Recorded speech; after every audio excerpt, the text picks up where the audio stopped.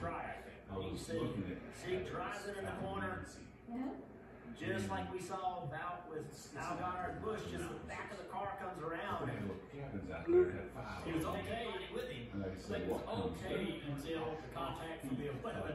Yeah. Sieg right around, I think you might have been able to say that, But different. that Haley had nowhere to go, trying to go with the racetrack. says you get one Right, row. right rear quarter panel.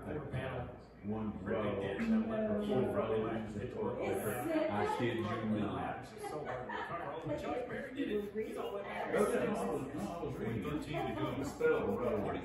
Four rows. Hey, Rick, to answer the question, yes, all of these teams have an This extra set of tires, and I see a number of teams scrambling here. Pit road is open Right. this time. Looks like Noah Oh, that Gretzi is- will be certainly one of those that pits. He'll pit from ninth, but I would bet the guys up